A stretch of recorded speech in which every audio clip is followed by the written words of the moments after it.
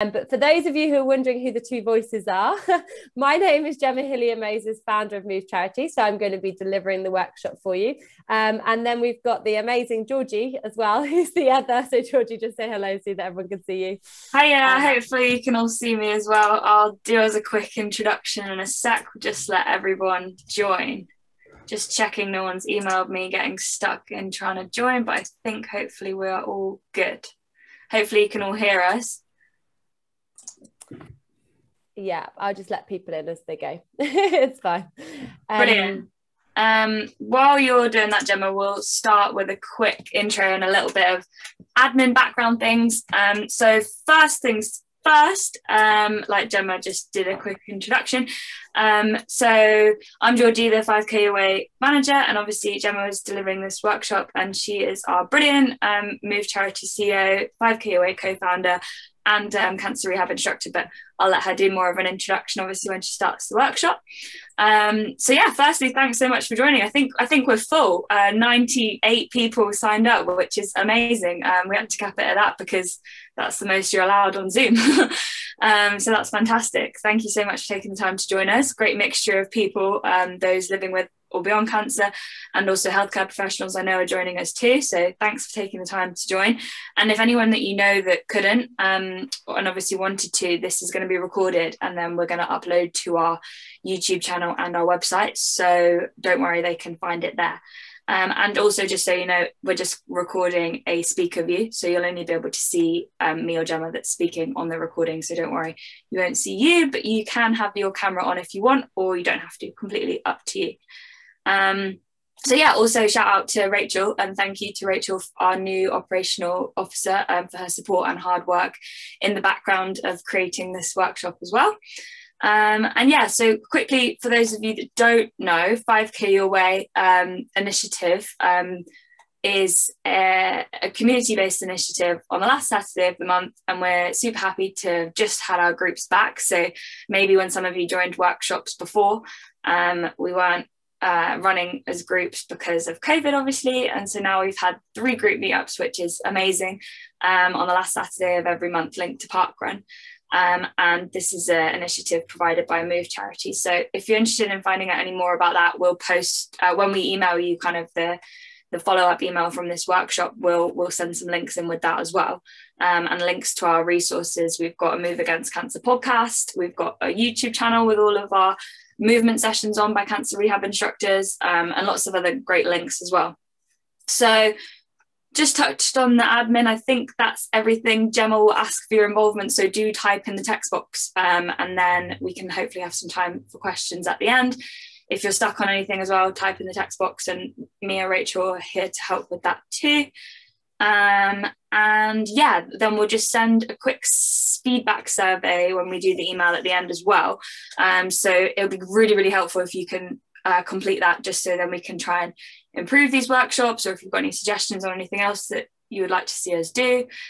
Um, and I think that's pretty much everything. Hopefully, we're going to be doing workshops every month. So, this is the first one back after kind of quite a bit of a break.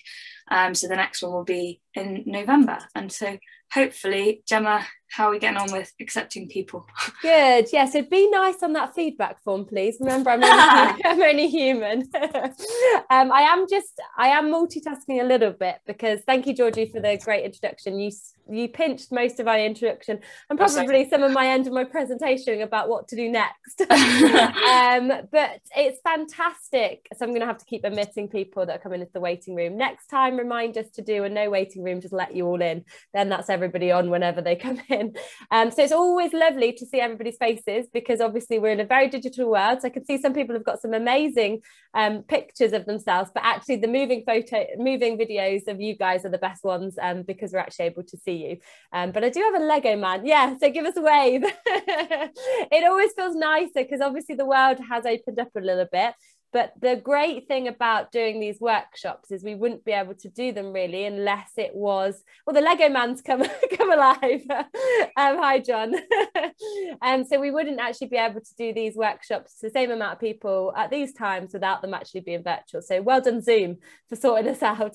Um, so today I just want to um, we are going to use so I'm going to share a presentation Um, but I just want to, um, oh yeah, I can just see that chat box. I think Georgie's going to answer any questions in the chat box in terms of to do specifically.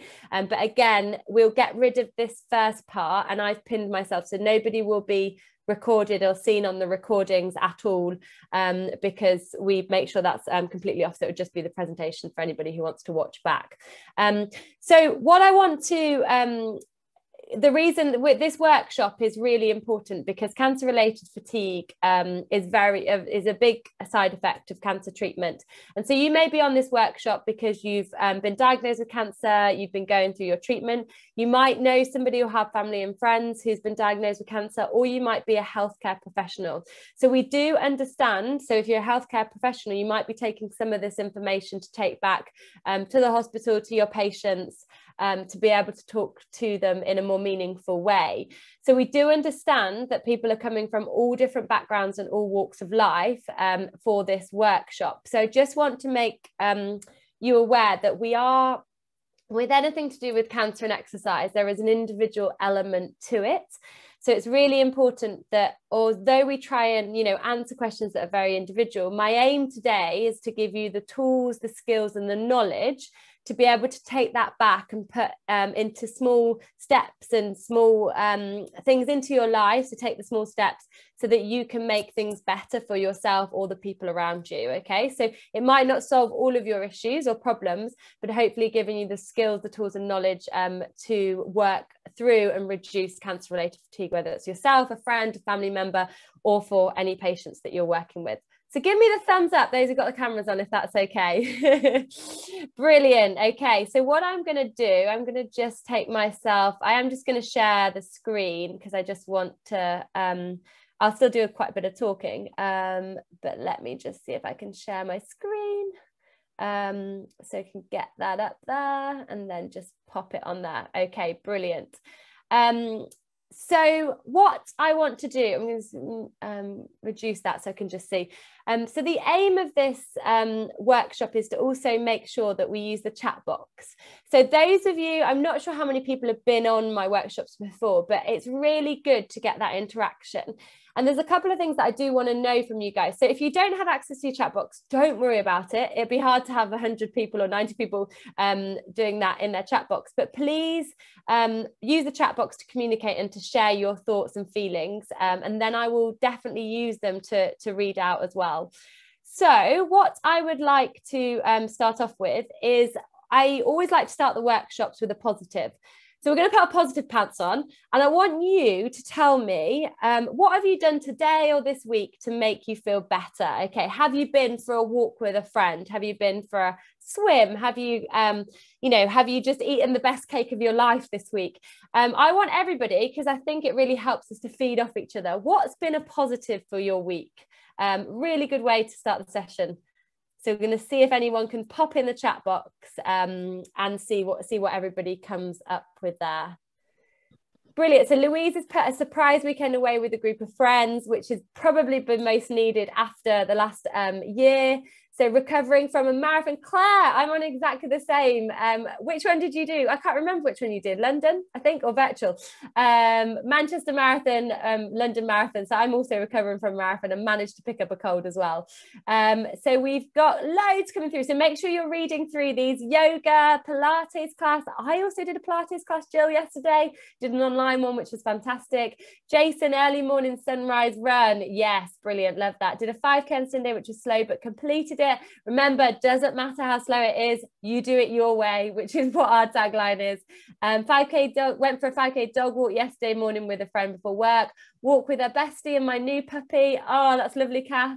Um, weekend in Cornwall with old friends, lots of time in the sea. Manchester Marathon, Claire, we were up there supporting on Sunday, so um, fantastic to everybody who's um, who's done the marathon as well. Um, woodland dog walk, bike rides along the canal. Look, so many positives. Bought myself a new lipstick, managed a 5k run last night. Really successful morning at work in different locations, aerobics. So people are active, it's work positives, it's holidays, it's friends. Um, and I really want to always start these workshops with a positive because I think gratitude is so important. And the last one's brilliant. Hid from my kids and went for a massage. that sounds perfect. Um, and I think that it's really important um, to have gratitude or to start practicing gratitude. I do a lot. Um, some of you may come on my goal work, um, goal setting workshop, and that was actually um, a knock on from the first fatigue workshop that we did at the start of the pandemic, or actually halfway through it last year and we did cancer related fatigue workshop and then we did a goal setting workshop. And i do a lot of journaling and gratitude is something that i practice every morning. And i used to think it was very airy fairy and wasn't really for me.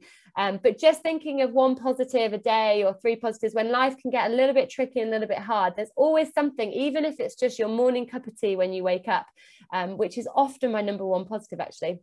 Um, it's really good to be able to practice that and you can bounce and feed off other people's energy as well um, so Jessica's had some amazing news from my post-treatment scan yesterday. That's fantastic to hear, um, Jessica. So, it, you know, we these positives we can definitely feed off each other. So that's like how I like to start with the workshops. Okay, so let's get cracking. So I've got even keep keep bringing them in because everybody's going to read them. So Pauline's put Move Well, Live Well program at Maggie's and Cardiff and Indoor Bowls today. It's got lots of active people already, which is really good. And if you're not that active or new to activity, do not worry at all. Um, hopefully, we're going to give you a little bit of inspiration here, um, give you some small steps that you can take into your life and start with, but also understand, really get to understand cancer-related fatigue and why it happens. Um, so if I can use my mouse to, so you must be thinking, who am I? Who's Gemma Hillier Moses and why? Why is she talking to me today?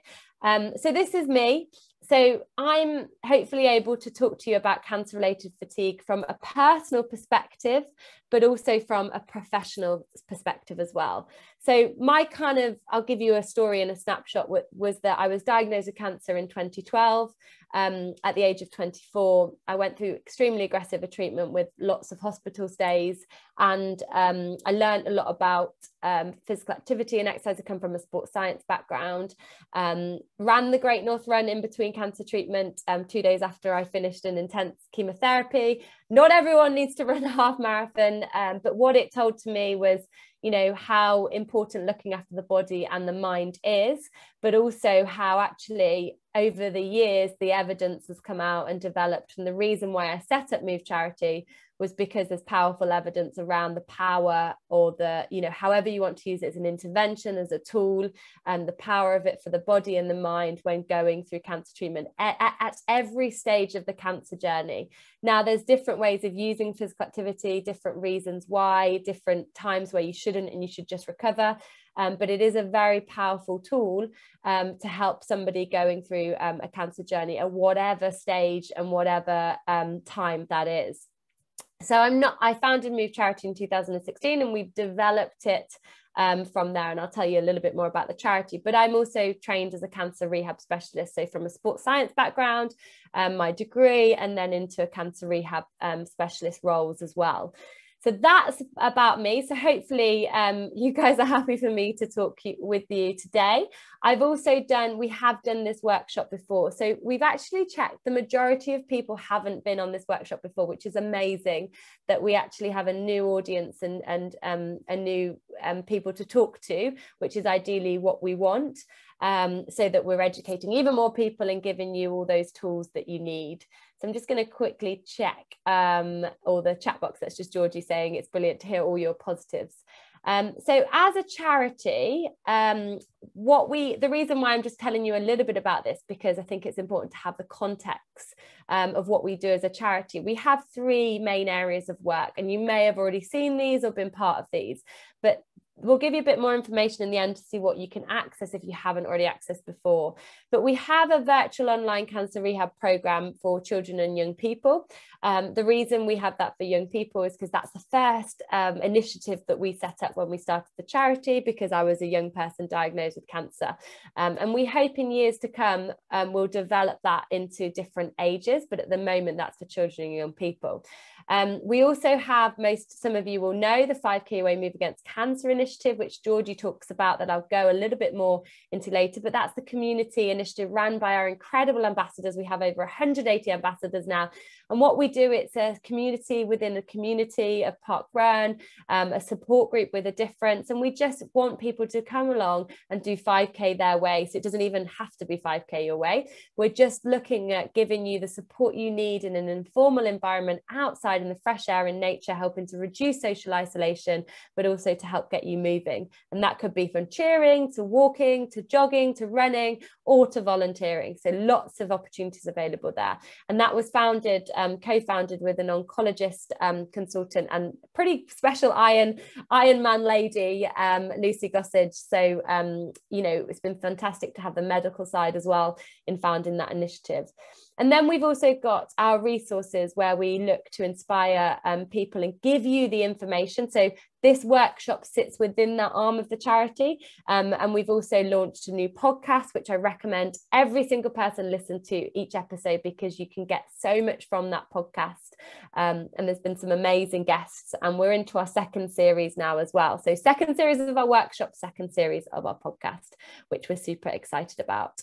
So, this workshop, I do like to talk, and I know I don't want to keep you over an hour.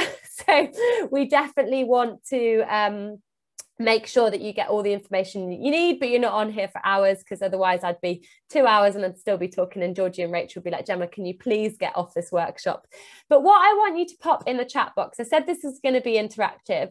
Um, what I'd like to know from you all is why have you chosen to come on this workshop? So, what do you want to know and find out? Hopefully, I've prepared the workshop to answer some of these questions, but I just want to know what do you um you know what do you want to know from this workshop? There's one thing is it about how you get started. What's the benefits of moving in relation to cancer related fatigue? Is cancer related fatigue real or is it just tiredness? So feed into that chat box. Why did you come on the workshop? It doesn't have to be detailed just what do you want to find out? That's all i need to know. Um, just before we start so that I can um, I can really make sure that this workshop's being tailored to everybody's needs. So hopefully we're everyone's going to pop some chat in the chat box. Okay, so we've got advice given to patients of what they can do about their fatigue. Anything new, research to back it up. Brilliant. Ways to try and push through fatigue when it happens. Hints and tips to manage post fatigue post treatment. Find strategies to avoid the boom and bust of post cancer fatigue. Yeah, these are great.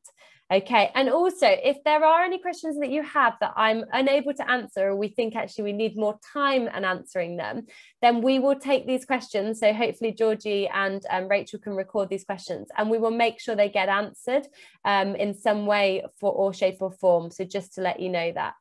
Um, so we are at Guy's Cancer Centre to learn more about the charities and events. Hopefully, we will send more patients your way to support. Brilliant. Um, get some more perspective on recovery from fatigue, to improve my knowledge about cancer-related fatigue and management, ways to cope and reduce fatigue post-treatment, better support patients, ways to manage. Yeah, lots of ways to manage late effects, um, understand what I can do during my treatment. Is it just post-treatment, just a thing? Okay, brilliant. Best way to support patients during post. So we've got quite a few healthcare professionals, which is a good thing to anyone who's going through treatment, so that healthcare professionals are also looking at ways and, um, and strategies they can use to support. Um yeah so more tiredness ways to manage it. Perfect. I can see these all coming through. Okay. How long is it to have it normal? Brilliant. Okay. That's really good so i'm going to deep dive into cancer related fatigue so what we um so you can keep your chats you can keep your questions coming but what i'll do is um georgie and I'm just going to admit somebody else in the waiting room. So Georgie and um, Rachel will take some of those questions as well. Um, brilliant. Okay. So lots of people with common reasons to be on this workshop. So hopefully we're going to give you enough of the right information. Now, first of all, the baseline to understanding cancer related fatigue is understanding what cancer related fatigue is, why cancer related fatigue happens, and then what tools, interventions, strategies you can use to help manage it, reduce it, and hopefully in the long run overcome it as well. Okay. So, what basically people um, people often look. So I'm also multitasking to make sure Yep. Also tips for manager. Okay. I'm multitasking with the chat box. So I'll try and make sure I'm telling you what I'm doing rather than just going, oh, oh, everything's popping up. So what what a lot of people think about with fatigue is that it's just tiredness. I've had this experience from a personal perspective of people around me when I was going through my cancer treatment not understanding anything about cancer. So, why should they know that cancer related fatigue is um, a symptom or a side effect of going through cancer treatment and also when you finish cancer treatment? Also, healthcare professionals, I wasn't spoken to enough. And I think a lot of it's changing now. I would give it that, it's changing no, not many healthcare professionals would talk to you about um, the effects of cancer-related fatigue because actually the job is to, you know, give the treatment, and then now there's a lot of work into long-term side effects, um, survivorship work, and all of that type of thing. But it's still not talked about enough as a really devastating side effect of cancer because it can sometimes be um, be a little bit unknown in terms of is it people thinking it's just tiredness, not speaking to their consultants about it, not speaking to the nurses about it, and kind of just fobbing it off, but then having to deal with it a lot later down the line. So, cancer related fatigue, what it is, is that it means that you're often very tired, exhausted, and lacking in energy. Um, and that it's a symptom of cancer itself and, it, and the treatment as well. So, not just the treatment, it's also a symptom of having cancer in your body as well. And it's very common, but actually, I think if you actually ask most people, it's one of the most um, deliberating side effects that um, cancer and its treatment gives because it can actually completely wipe you out. And the more sleep that you have, that's not um, when you're normally tired, you'll you'll be tired and you'll go to bed and you'll feel better in the morning. That's not the case with cancer-related fatigue. It's um it's definitely one of those things that more and more sleep doesn't actually help it, and you've got to find different ways to manage it. And also, everybody is slightly individual on their treatment, their um, body's response to treatment, their body's response to cancer, and how it affects your body internally and psychologically. So you've got to have that individual element to managing cancer related fatigue as well. Um, so a lot of the the reasons why you get cancer related fatigue so these are common known reasons why it happens. One of them is the cancer itself and sometimes um, some cancers release proteins in the body that then um, make cancer related fatigue uh, more prevalent. It can also be that the cancer itself can increase the body's need for energy, so weakening your muscles, causing damage to certain organs, um, altering your body's hormones, which then might contribute to cancer related fatigue. Um, the cancer treatment itself is the most common known um, reason why cancer related fatigue becomes a short term and long term side effect of treatment. So, chemotherapy, radiotherapy, surgery, um, trans- transplants, immunotherapy, um, all of those cause um, cancer related fatigue. And most people, not everybody, will experience it as some form of the treatment journey and beyond. Um, and actually, fatigue can also happen because when you're going through treatment, your body is working in overload. So your energy is being up and up and up. And that actually leaves the body afterwards with not much energy at all. Um, and then there are the knock on side effects of things like anemia, nausea, vomiting, pain, um, insomnia, and changes in mood. So don't ever underestimate the psychological impact and what that has on, on fatigue as well. Um, so again, anemia is one of the biggest things. Um, but like we said, psychologically, emotional stress of the cancer journey, anxiety, depression, post traumatic stress um, of what you've been through, they are, you know, huge causes of, of fatigue as well. Um, lack of sleep and too much sleep can cause more cancer related fatigue. So, lack of sleep due to pain, due to treatment, due to stress um, can actually cause fatigue. But then I've done a lot of workshops, especially with young people who have fatigue, cancer related fatigue, and then end up napping during the day and then get in a completely vicious cycle of um, going to sleep at night, napping during the day, having way too much sleep, and then still feeling fatigued and just going on that cycle and not being able to get out of it. So, although you think that sleeping more helps, actually just getting into a regular routine of sleeping eight hours a night will help to manage cancer related fatigue. And uh, we'll look at some of the other ways that you can help to manage that as well. Poor nutrition can be a big cause. So, it's i completely understand if you're going through treatment so i came from quite we're all from different walks of life different backgrounds different um, you know levels of activity different um, priorities on health and well-being. But i i came from quite a healthy background had really you know ate really well really nutritious meals went through chemotherapy. And i remember a point where all i wanted to eat was doritos. So i had like a, a metallic mouth. I just ate loads of doritos dr pepper and ice cream. And i remember a dietitian saying to me well you need to eat a bit, little bit better. Um, and i actually really struggled to do that. And what happens with that is um, Oh, um, no, sorry, Jay. They shouldn't. Sorry, no, the slide shouldn't move. You should definitely still be on the first slide. Um, actually maybe on the second slide um, i'm just talking thank you for that um, prompt but i am just talking around i don't like to use too many slides so i do like to talk um, so but thank you for that um, prompt joe so um, yeah so basically nutrition wise so you can actually get stuck in quite a bad nutritional routine because when you're going through treatment or even beyond treatment, you may have changed your eating habits and patterns. There may have been do- things done for convenience and quickness, or you may have a like your family life. There's a lot going on, so you may may not be making good nutritional to- choices, and that actually nutrition can have a big um, physiological effect and also a big psychological effect as well um so that's that is has a knock-on effect to um what may cause cancer related fatigue. Medications may cause it.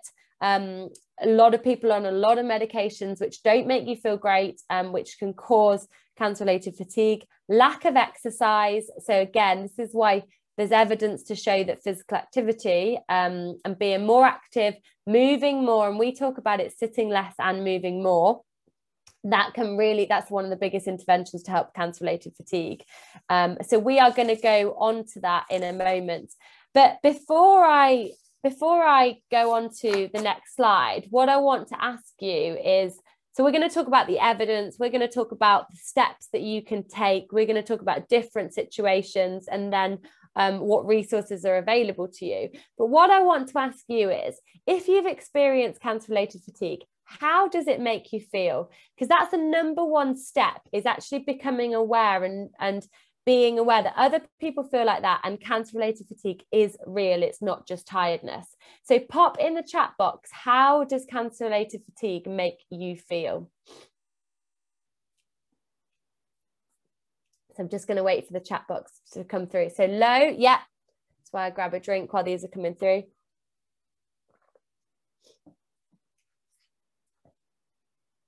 feel bad that I cannot do more.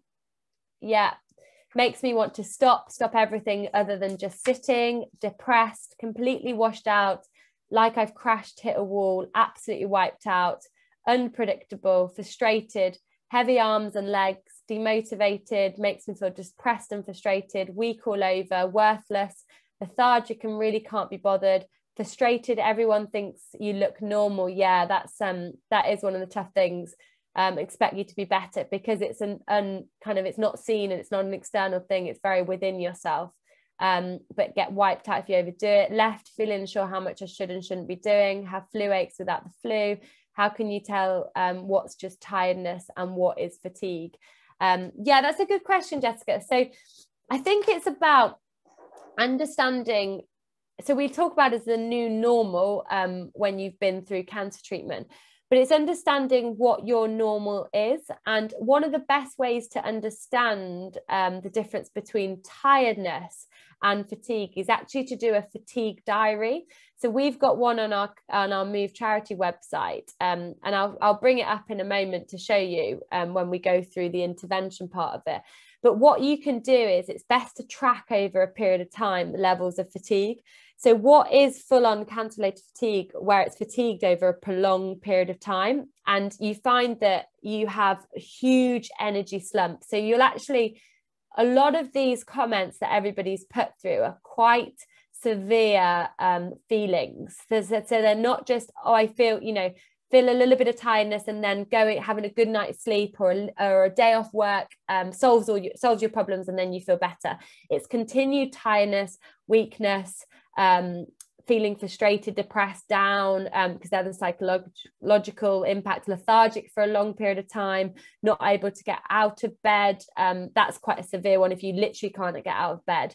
Um, and then we need to also manage the chronic fatigue as well, which is something that um, the reason why I I want to say that you need to talk to a healthcare professional about cancer related fatigue is because they also need to be aware of the trends and the journey that you're going on. So fatigue can be man cancer related fatigue can be managed with a number of different interventions. If it becomes chronic related fatigue, you definitely which is severe where you literally can't get out of bed um, you need to have blood tests done you need to um, go in depth with your consultant to look at what actually can be done with that. So there's kind of that little that spectrum um, of what you should be looking at with that because chronic fatigue um, is something that you know moving more won't just help. It's actually that you need to then go and look at what is that next step to helping that. Um, but for most people, dealing with cancer-related fatigue and that tiredness and that fatigue feeling interventions can really help that so hopefully that answered your question, Jessica. Um, so what what we don't want to do is we want to not give up our whole life um, and think, oh, this is just the way it's going to be forever. What we want to do is be able to make some small changes and over time see what those changes are and how positively they they help you or how they may not help you and you maybe need to look at another way of doing things. But we there's definitely physical activity and exercise is definitely one of the biggest ways that you can help to reduce the effects of cancer related fatigue.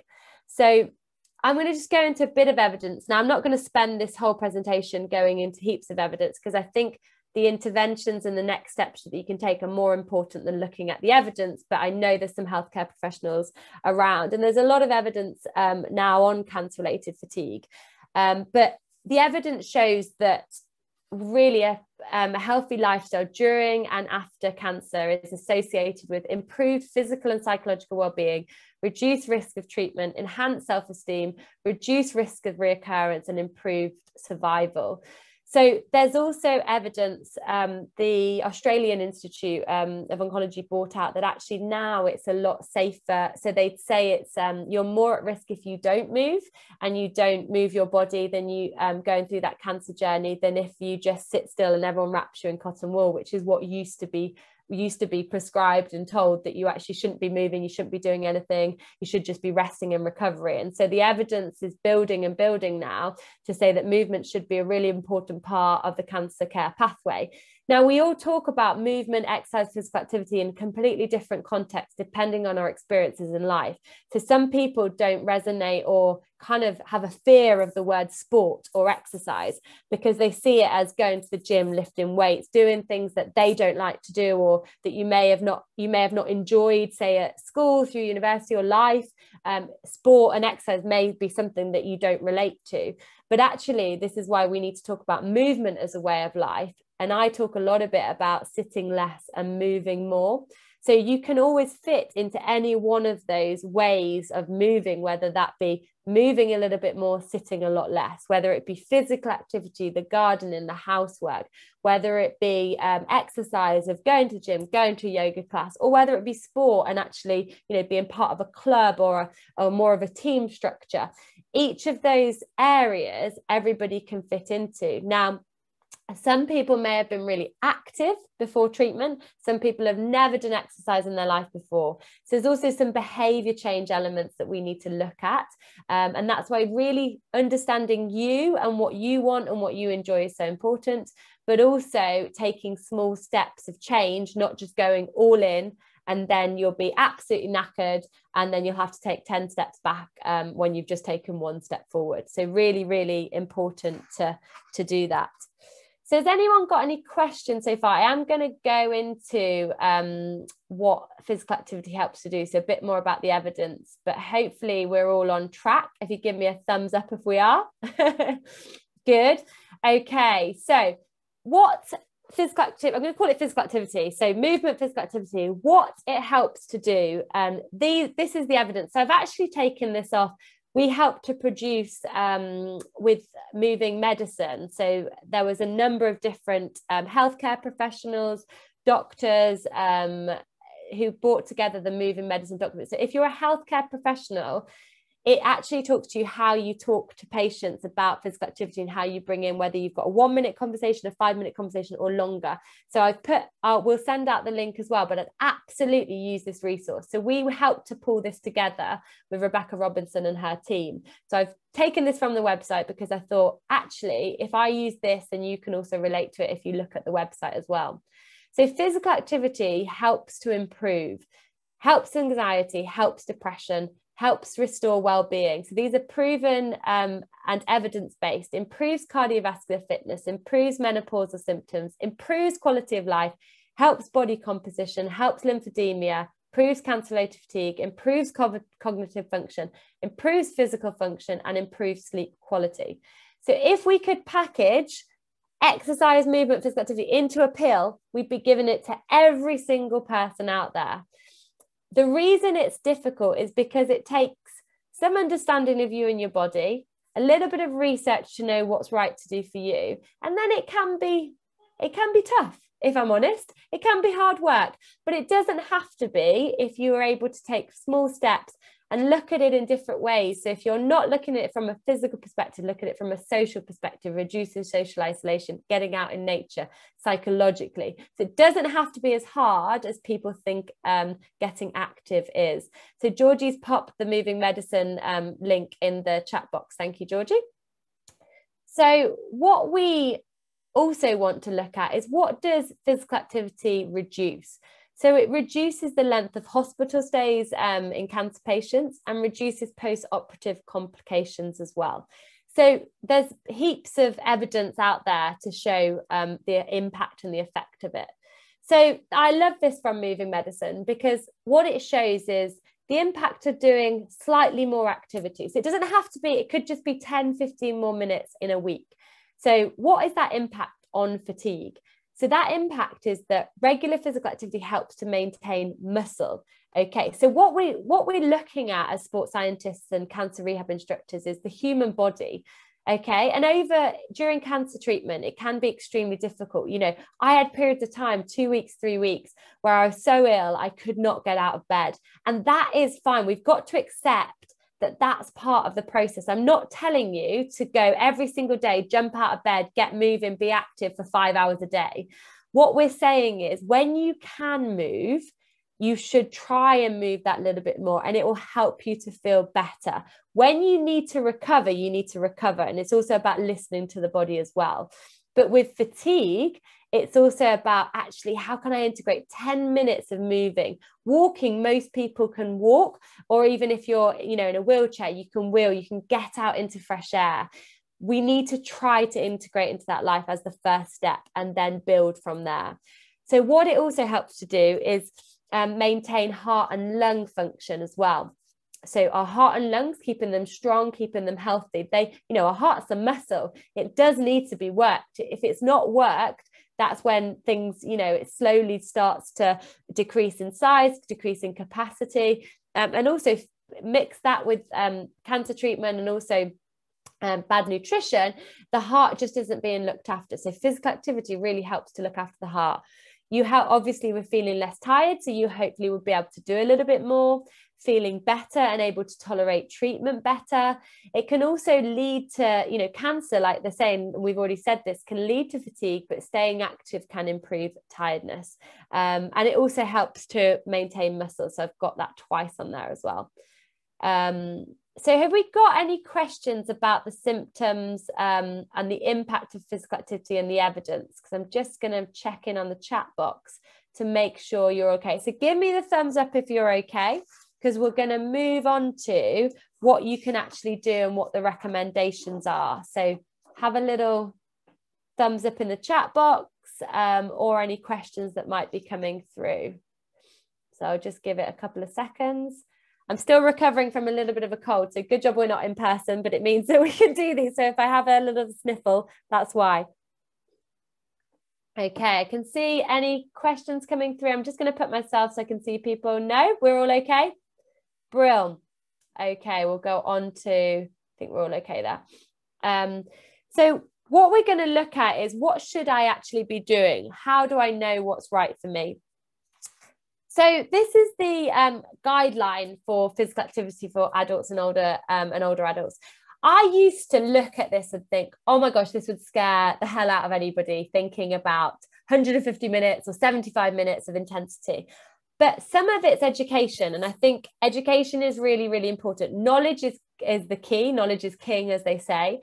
So the more we talk about this, the more we know this, the less it becomes scary, the more we can break it down, and the more we can look at our lives and see how manageable it is to integrate physical activity into our life when going through cancer treatment. Now, doesn't mean you look at this and think, I have to go and do 150 minutes per week when I'm currently going through chemotherapy. The point is that actually, what we want is a starting point. So something is better than nothing. And also that it's never ever too late to start moving. And every little minute, as it says here, does count, but also to look at starting to put a plan or working with a team to put a put a plan in place for you.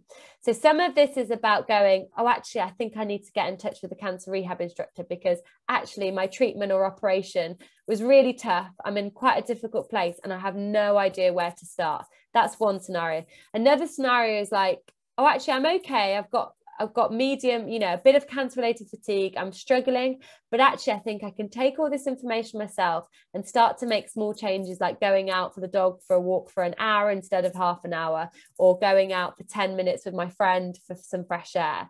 Um, that's that's another way of looking at it. So actually, kind of make your own assumptions. Another one is that actually I probably need to be re- do a bit of research, make my own plans, maybe get just one session of advice from a cancer rehab instructor or specialist, or talk to my consultants. That's another way. Or if you're a healthcare professional, actually start talking about exercise in terms of cancer. You know, we are getting better at it, but the two and two didn't really go together for a very long time. And now they're starting to, and we should make people aware of that. Um, so we've kind of already gone through the benefits, but one thing that I want to talk about is that just because somebody's had cancer doesn't mean you're immune from any other comorbidity. So things like diabetes, cardiovascular disease, um, depression or anxiety or mental health issues, back pain, um, and other type of cancers. So it doesn't mean you're immune. So that so we actually need to really look after our body because it's gone through a lot or is going through a lot but we still need to look after it to make sure that it's fit and healthy enough to reduce the risk of any other comorbidities happening, but also to cope with what might be thrown at it in the future or now. Um, so I think that's a really important thing um, to think about. So I'm just going to quickly check the chat box. Um, so we've actually got really lovely examples, and I know there are people who have actually um, benefited from moving more. So Pauline's put, a, I found a variety of swimming, Pilates, walking was better than just one type of exercise to keep me motivated prior to cancer treatment. Yeah, so prior to cancer treatment can change to your post cancer treatment your motivations your life um, the way you feel about certain types of movement exercise might change but actually like we said variety um, can be really key and what what we'll go on to so give another few examples um, and just talk through this document.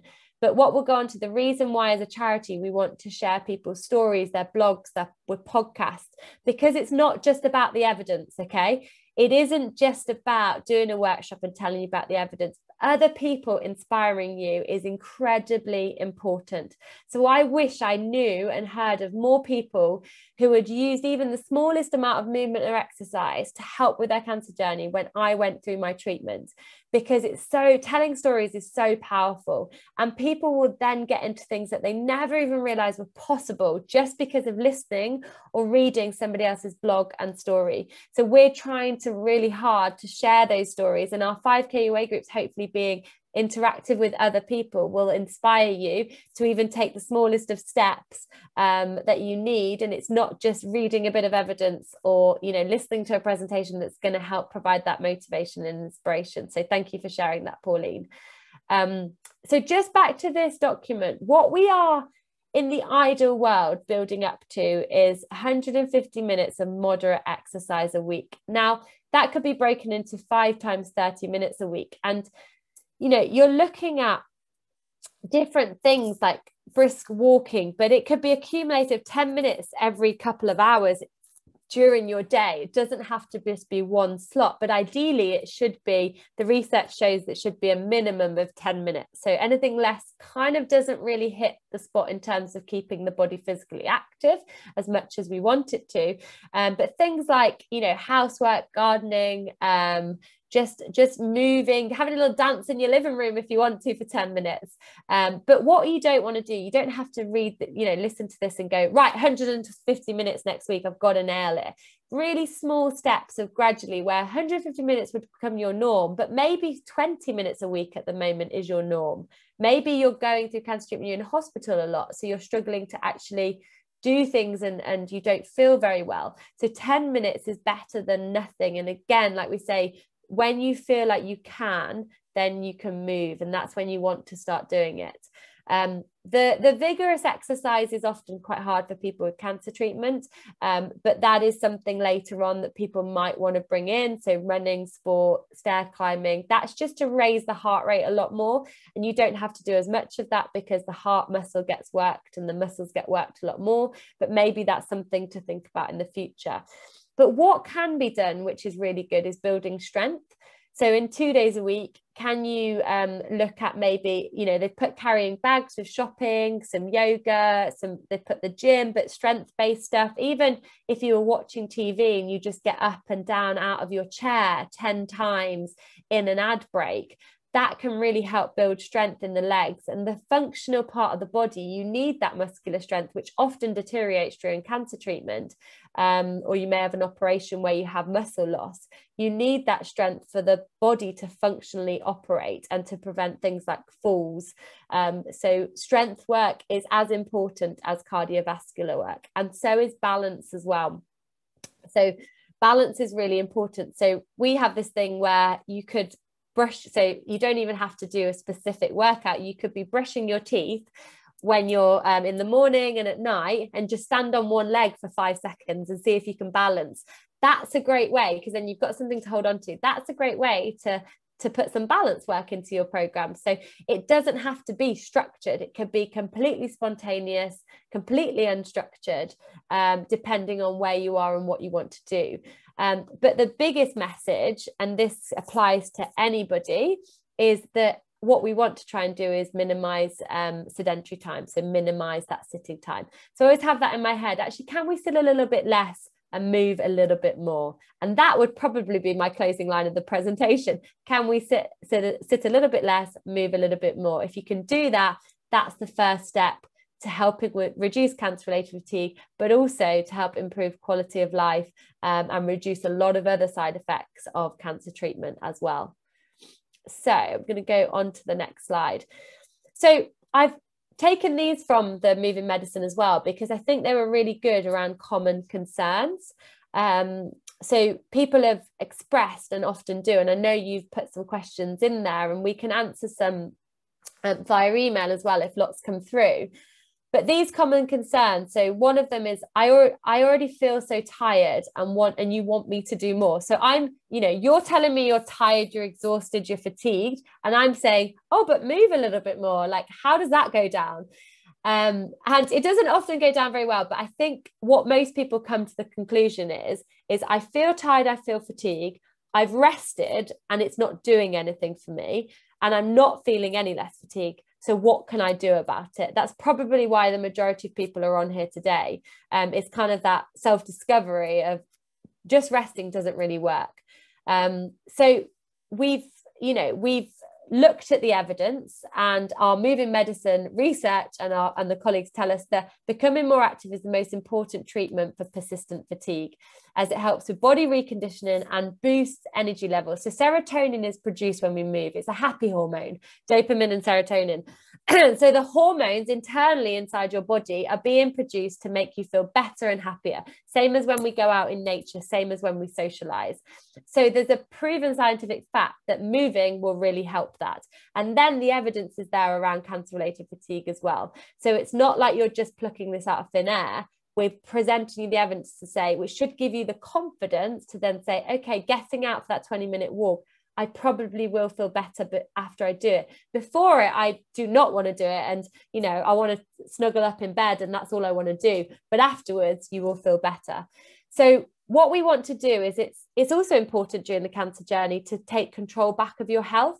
So i remember when i was going through my treatment i felt like everything was out of my control. People were doing everything for me. I was being given my treatment. I didn't really have too many decisions that i was in control of.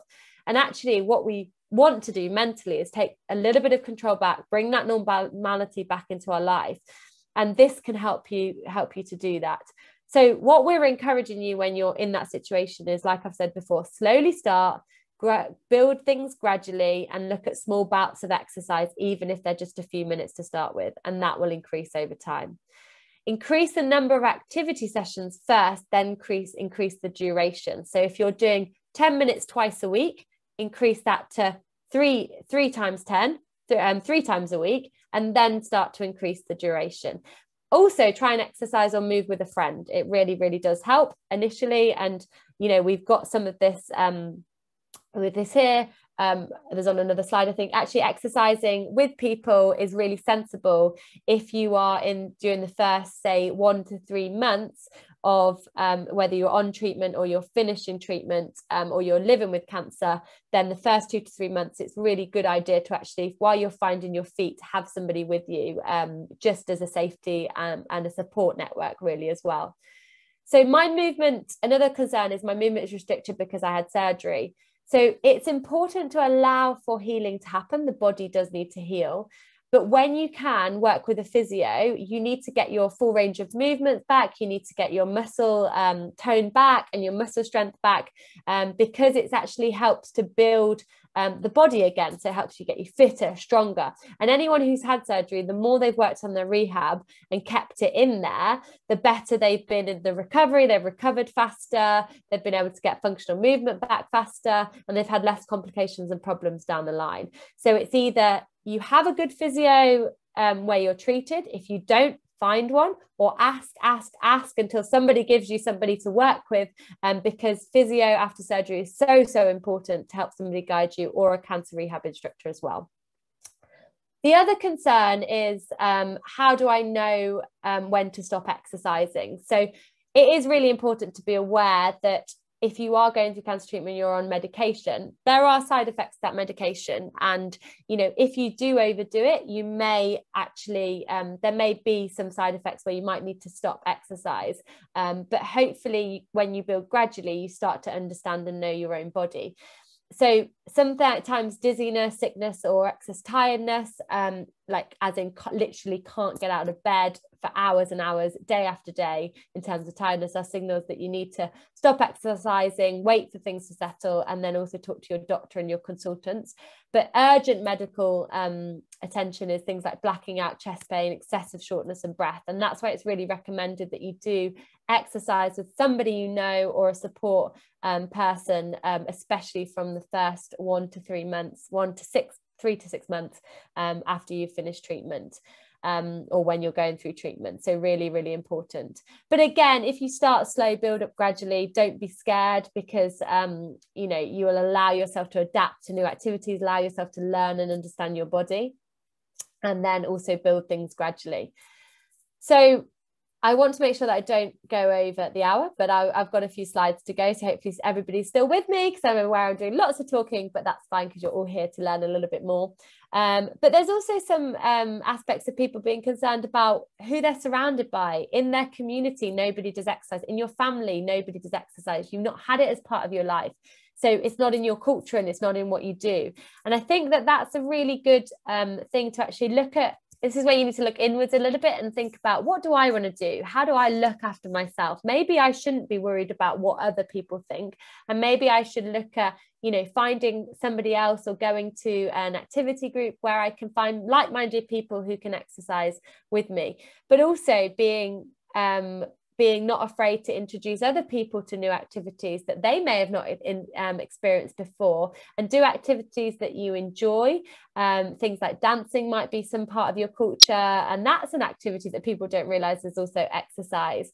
Um, but like we say looking at your daily routine and also looking at how you can sit um, a little bit less and move a little bit more. Okay So again, just another couple of things. I'll let you um, let you read through these longer ones as well. So I've got another one from Sylvia. So Penny does graded exercise online classes now, which are brilliant. Free donations encourage, and you can have private individual sessions if you wish. Perfect. So again, the community that we create here, people have had different experiences on who they're using. So, um, Penny, if you can just send Georgie, um, or Georgie, we'll look up that and we'll make sure that's sent in the follow up email as well. Um, and I'll tell you some of the resources that you can look at afterwards. So, lots of ideas of how that can help and how you can be supported to get active. Um, so again, I don't want to go to a gym. We've already talked about this. Movement doesn't have to be a gym. Home-based exercises, bands, exercise equipment. We have some move your way sessions on our cancer rehab um, page on our Move charity pages and 5K Your Way website, which we did in lockdown in replace of our 5K Your Way groups. And they were just home based exercise where we just moved together. So again, you don't have to go to the gym.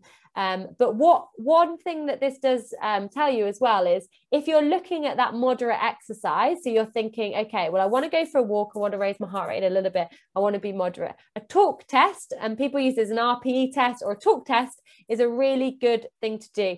So if you've got, if you're doing moderate exercise, you should be able to hold a conversation, but maybe not be able to sing your way through that conversation, and that would be moderate exercise. If you are um, doing intense exercise. So you're but you don't want to do intense exercise. You know you're doing intense exercise because you wouldn't be able to talk when you're doing it. So if you started to walk or run really fast and you're breathing really heavily and you can't talk that means you've gone into intense exercise. So if you're especially if you're new to this or going through your treatment you might just want to dial that back a little bit um, to make sure that you're not hitting that intense exercise too much and keeping things nice and moderate Okay, let's just check the chat box. Um, perfect. Thanks, Georgie. Um, and then people who have actually never done any exercise before. So, well, like I said before, it's never ever too late to start, has its benefits, um, both short term and long term. But we actually, it takes 90 days to create a habit. So people often think that you, you know, motivation just comes, but actually, um, habit creates motivation. So the more you can get into a habit, I'm just going to sneeze, sorry. Um, the more you can get into a habit, the more motivation will come because 90 days to create a habit. So it'll feel hard for the first three weeks to start, say, moving or exercising 10 minutes um, per day or 10 minutes every couple of days. But as soon as that becomes a habit, it becomes part of your life. And I talk about it in our goal setting workshop. The more you can't live without that in your life anymore. So, say, for example, two mornings a week, you decide to go for a 20 minute walk. After 90 days, you won't be able to live without those two 20 minutes walks per week because the brain likes consistently, it likes routine, it likes habit, but it takes 90 days to create those habits. Um, so try and keep into a routine, start small, make a start, um, get support from your family and friends, build up slowly incorporate aerobic activity, like we said, things like walking, um, running, swimming, whatever it is you want to do, but also add resistance. And the brush your teeth balance training is a great one. Um, but also, then there are other apps, um, people that you can find out there that will help to keep you active as well.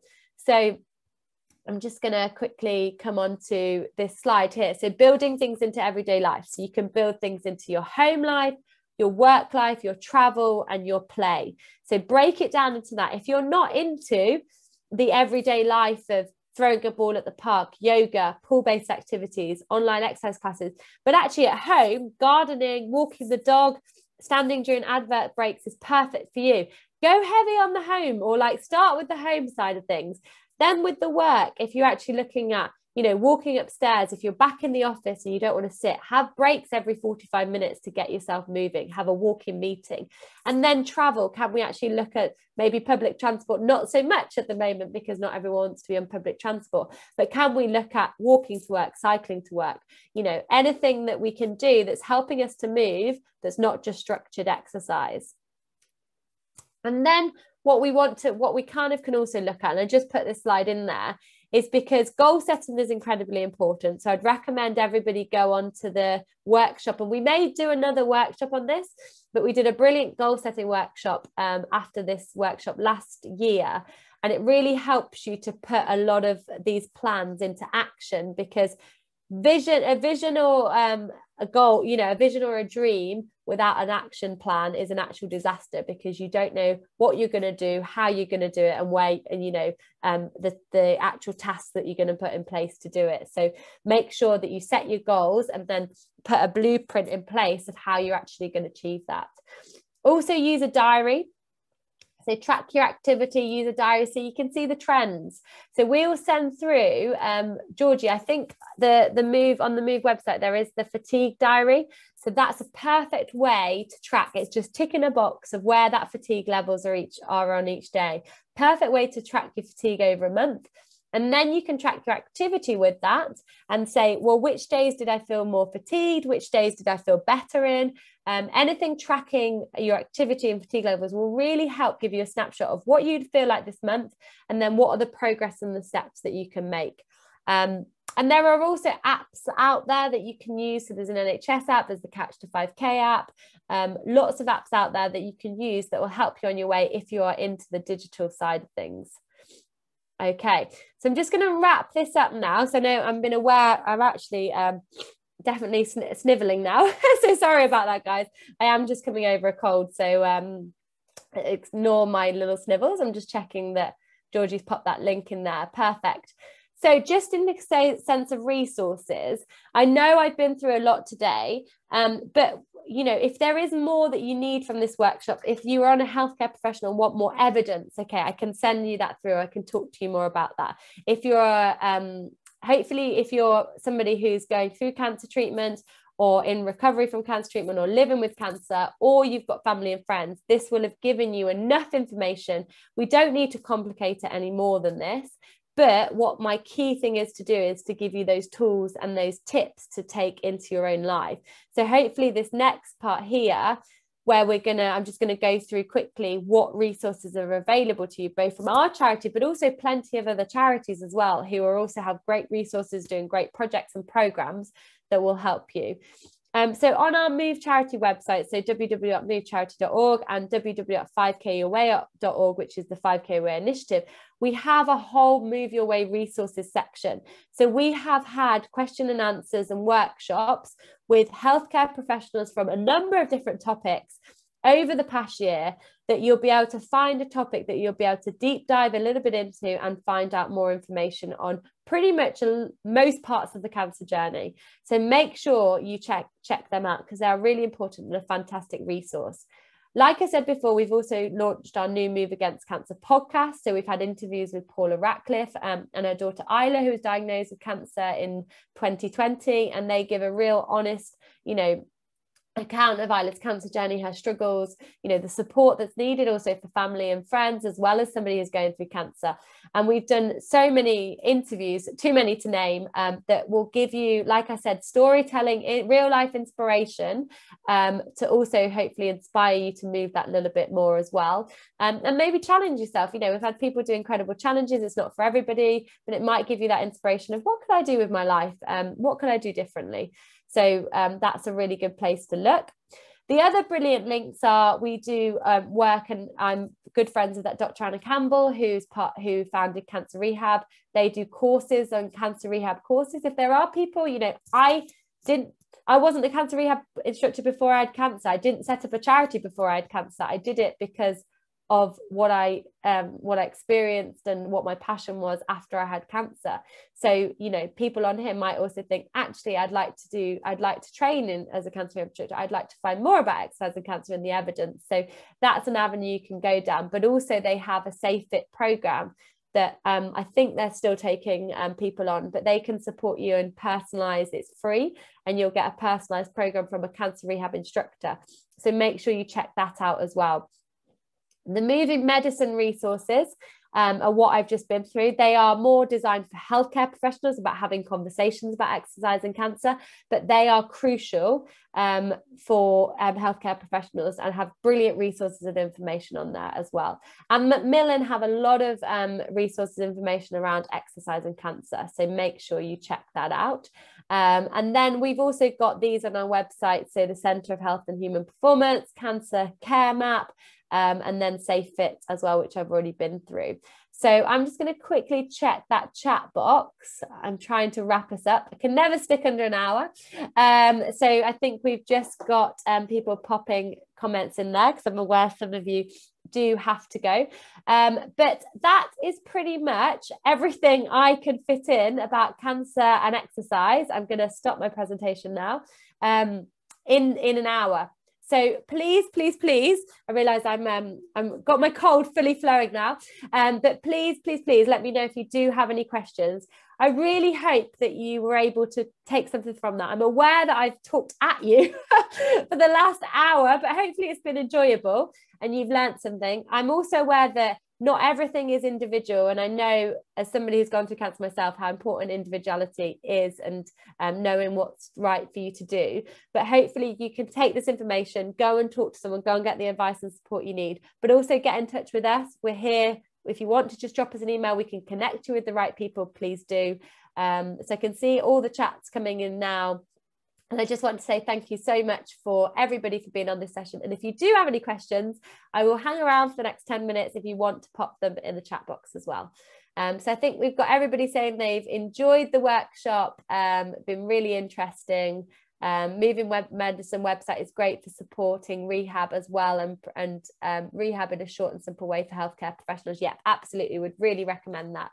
Um, so hopefully everybody's enjoyed that. I think the comments are coming through. Please feel free to give us the feedback. If there's something that you thought I would have liked to learn, but Gemma didn't cover it, that's okay. Pop it in the feedback because we can produce more workshops as well. Um, but we should have a few more workshops coming your way. So make sure you keep an eye on all our emails, all our newsletters. Um, and um, yeah, please keep in touch with us because we are here to provide you with all the information you need. And if we're not currently doing that, please tell us because we would like to do more of that.